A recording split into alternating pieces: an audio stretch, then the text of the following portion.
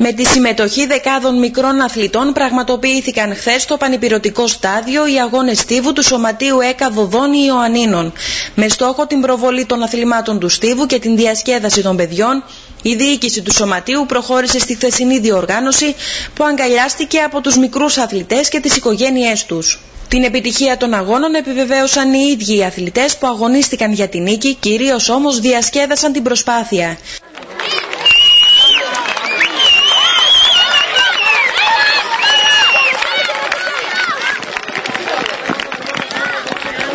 Σύμφωνα με τον πρόεδρο του Σωματείου Κωνσταντίνο Μάμαλη, φιλοσοφία του Συλλόγου από τα πρώτα χρόνια ίδρυσής του δεν είναι μόνο η ανάδειξη ταλέντων του κλασικού αθλητισμού, αλλά η προσέλκυση όλων των παιδιών στο χώρο του στίβου.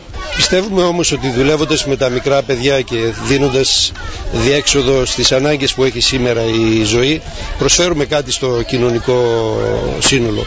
Η φιλοσοφία των ιδρυτών είναι ακριβώς η ίδια ε, με τους προπονητές που έχουν τώρα την ευθύνη του συλλόγου, τον ε, Κώστα τον Λόλη, τον Βασίλη τον Πλάτωνα, τη Γεωργία τη Λάπα, τη ε, Βασιλική τη Βάσο και, την, και τον Μιχάλη το, το Λόλη. προσπαθούν να κάνουν ακριβώς αυτό που είπαμε πριν. Από εκεί και πέρα η επιτυχία μας σε αυτό το κοινωνικό σκοπό που έχουμε θα είναι μεγαλύτερη όσο περισσότερα παιδάκια μπορέσουμε να φέρουμε στα στάδια. Αυτό που μπορούμε να υποσχεθούμε στους γονείς που μας εμπιστεύονται τα παιδιά τους είναι ότι ναι μεν ενδεχομένως δεν μπορούμε να τους υποσχεθούμε ότι τα παιδιά τους θα ανήκουν στο μεγαλύτερο σύλλογο της χώρας.